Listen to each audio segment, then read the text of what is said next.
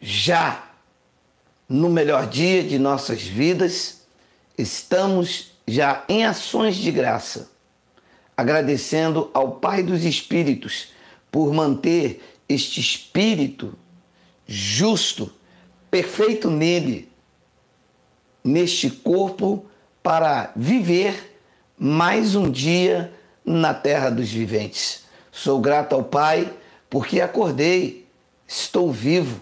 A esperança de viver dias melhores está em mim, depende de mim e age por meio de mim, me ensinando a verdadeira vontade do Pai, que é suportar uns aos outros em amor e amar mesmo sem ser amado. Bem-vindos sejam todos. Você está no programa Manhã de Confissão de Fé. Nós estamos aqui para aprender, não a lei e a graça. Este programa de Manhã de Confissão de Fé é para aprender coisas da vida. E hoje eu quero falar sobre isso. Vítimas do amor fingido. Você já foi vítima de um amor fingido? Você sabe o que é um amor fingido? É o que a maioria dos crentes da lei e da graça tem. O amor fingido, uma hora da caminhada ele será demonstrado. O amor fingido é aquela pessoa assim, estamos juntos até que. Porque ele não é sincero no seu sentimento. Ele é sincero nas suas emoções. Em determinadas pessoas, o amor não é puro, é hipócrita.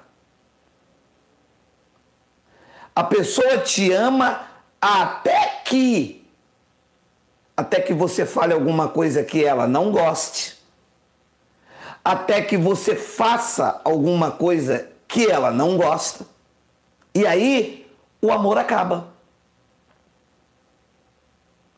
O amor com hipocrisia é esse amor de estamos juntos.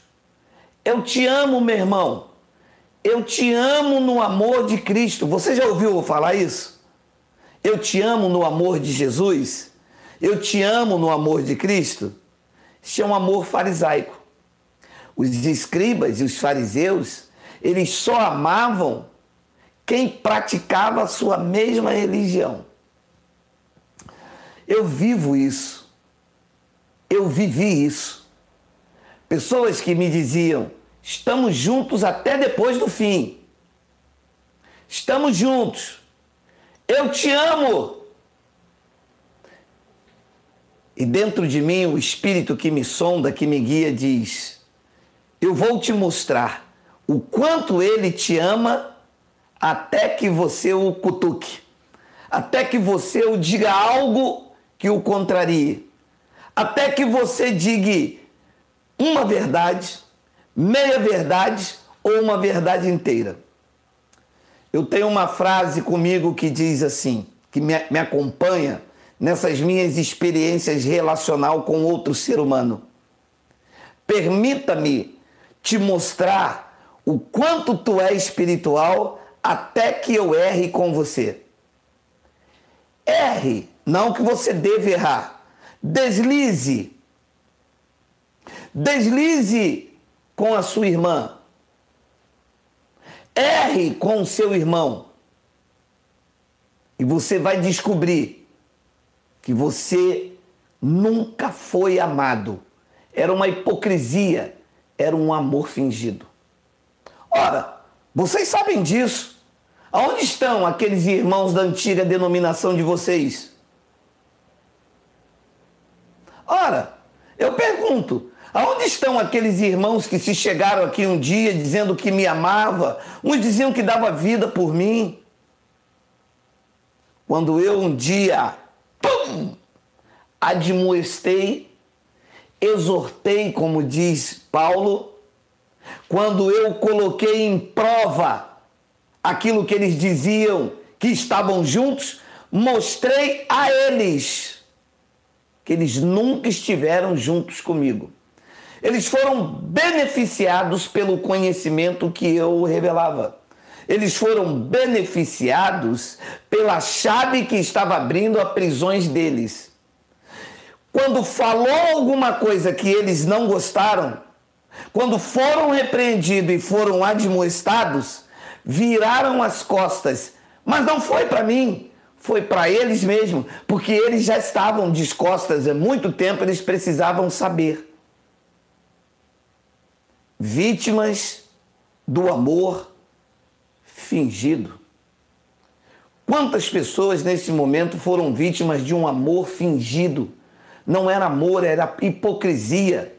Só queria sugar, só queria tirar de você, só prestava enquanto você podia fazer, só prestava enquanto você podia dar, só prestava enquanto você entregava o prato de comida na mão, levava o copo d'água na mão, só prestava enquanto você fazia o café, enquanto você partia o pão, só prestava enquanto você lavava a roupa, só prestava enquanto você dava o dinheiro, só prestava enquanto você passava a mão pela cabeça. E o dia que você errou, não te suportaram. O apóstolo Paulo deixou claro: isto é graça. Existe uma diferença de evangelho da graça, o que mostra o que é lei e o que deve viver, e existe graça. Graça é essa capacidade de superar uns aos outros em amor. Graça é a capacidade de perdoar 70 vezes 7 milhões. Graça é a capacidade de você não olhar o seu irmão segundo a carne. Graça é a capacidade de suportar uns aos outros em amor. Graça, nos dias de Paulo, ele colocou claro: perdoai-vos uns aos outros, assim como ele vos perdoou. Isto é graça. O resto é hipocrisia de dizer eu vivo em graça, mas não suportar o seu irmão, de achar que você é melhor do que ele. Sim, porque quando seu irmão erra com você, você vira as costas, não perdoa, não se coloca no lugar dele, você olha ele segundo a carne e se acha melhor, achando que você nunca vai cair no erro cometido por ele. E aí, você não tem a, a hombridade de mostrar o amor, porque o amor não acaba nunca. Não é amor que a pessoa tinha por você, era hipocrisia. O amor tudo crê, tudo suporta, tudo espera. O amor não acaba jamais. O que acaba é deitar na sopa. O que acaba é o aproveitamento. A pessoa se aproveitou de você, você falou umas poucas e boas, você explodiu. Porque se você não tivesse falado, se você não tivesse reagido, se você não chutasse o balde, estava aí nas suas costas até agora estava aí diante de você, tapinha nas costas, rindo, abraçando. Mas sabe o que aconteceu? Este vulcão que há dentro de você entrou em erupção. Você chutou o balde, falou meias verdades e eles, ó. E a Rúshua, nos dias de sua carne, fez isso. Esperou quando juntou todo mundo, ele Começaram a botar a mão no bolso e falaram: dura esse discurso. E ó, correu. Ele virou para os discípulos, tudo com carão. Ele perguntou aos discípulos: e vocês também não vão embora? Eles tinham um amor sincero e verdadeiro por ele. Eles disseram: Para onde iremos nós? És tu que tem a palavra da vida eterna? Abençoado, quem ama, ama mesmo. Pode ficar triste, pode ferir, pode fazer o que for. Quem ama, ama mesmo. Só pode dizer que está junto, só pode pronunciar a frase eu te amo quem está preparado para engolir cobras e largatos. Só pode dizer eu estou junto quem não vai te olhar segundo a carne. Quem vai viver com você ali no dia bom, no dia mal, quando você estiver triste, quando você estiver alegre, na doença, né, no corpo saudável, esse pode dizer eu estou junto. Porque não te ama por aquilo que você faz, te ama por aquilo que você é. E eu vou lhe dar um conselho. É melhor você viver com uma pessoa sincera do que com dez hipócritas te rodeando. Houve um tempo aqui no nosso espaço que o negócio aqui estava muito cheio. Tava muita gente. Aglomerado, não cabia mais lugar, a rua fechada. Eu disse à minha esposa: não há amor uníssono entre nós. Há muita gente hipócrita. Eu vou sacudir a roseira e um dia, num domingo, quando estava bem cheio, eu pum, fiz igual Jesus no Yalcha e a Rúshua nos dias de sua carne. Eu pum, larguei o doce, como diz os meus irmãos da Bahia. Pasmem, alguns irmãos que já estavam conosco dois, três anos, quando ouviram eu falar umas verdades, nunca mais apareceram. Diziam que me amavam, que estavam juntos, nós vamos juntos, nós vamos para lá, nós vamos pular amarelinha, nós vamos pular verdinha, nós vamos pular na linha vermelha, na linha amarela, na linha verde. Quando o pau cantou, não foi preciso nem eu pronunciar o nome. Eles vestiram a carapuça e disseram em silêncio: dura esse discurso. O Pai me consolou com o seu espírito, me fazendo entender que é melhor você estar com cinco, com um amor puro, sincero e verdadeiro, do que com 50 falsos do seu lado. Não fique triste por quem foi, se alegre com quem ficou. Não fique triste com quem te abandonou. Se regozije com aquele que virá, já conhecendo o seu temperamento, a sua forma de agir e o seu caráter que não se deixa se corromper por frases leves ou pesadas. Você é o que é pela graça de Deus. Não estamos aqui para agradar a homens. Se o fizéssemos, não seríamos servos de Cristo. Estamos aqui para ser sinceros, autênticos e verdadeiros. Quem te ama não te modifica, te acrescenta e deve te aceitar do jeito que você é. Sabe por quê? Porque por mais que você faça, o hipócrita, o que te ama com amor fingido, nunca vai estar satisfeito. No momento em que você esbarrar na hipocrisia dele, ele irá te abandonar, como abandonou aquele naquele madeiro, como abandonou Paulo, como abandonou a mim, como abandonou a você.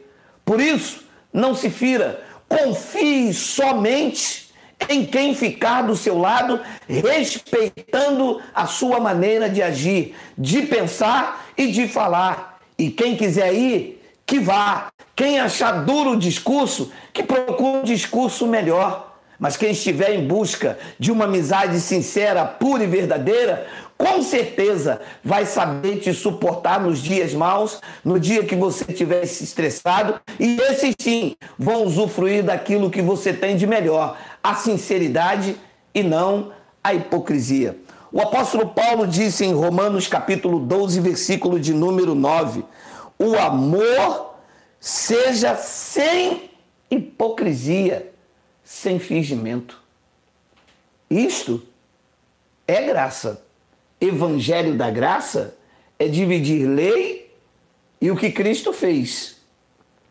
Graça é você suportar uns aos outros em amor. Você viu o que o Mário fez, o Mário Valério, que está aí comigo, né? Usando teu nome aqui, Mário. Você viu o que o Mário Valério fez? Não vou mais lá. Ué, mas eu vou deixar de ser amigo do Mário Valério por algo que ele fez com ele? Eu estou aproveitando a minha hipocrisia? Algo que já ruía dentro de mim contra o Mário? Porque ele fez algo com você? Resolva vocês dois. O amor não pode ser sem fingimento, sem hipocrisia. Se eu tiver algo contra o meu irmão, eu vou sentar e vou resolver. Sabe por quê? Porque o meu sentimento não é um sentimento de hipocrisia. Eu não sou falso, eu não sou hipócrita. Quando eu não gosto, eu não gosto e acabou. Eu não vou dar tapinha nas costas de ninguém, não vou dizer que eu estou junto, que eu amo e depois lá dentro, como a síndrome de Judas, me mostrar quem eu verdadeiramente era. Judas comia na mesa com os discípulos, tomava conta do recurso do mestre, andava com o mestre, tinha status de apóstolos, seguia o mestre, mas lá dentro o seu amor era fingido. E Cristo foi vítima desse amor fingido. Eu fui vítima, você foi vítima. Mas eu não, fui, eu não, eu não estou vitimizado. Isto me trouxe experiência. Consolado pelo Pai, hoje eu estou mais maduro. E todas as vezes que se aglomeram perto de mim, eu mostro Geraldo na sua essência. E só vão ficar quem verdadeira me amam do jeito que eu sou do jeito que eu vivo e do jeito que o Pai quer. Melhor dia, graça e paz e cuidado com o amor fingido. Assim é, graça eterna.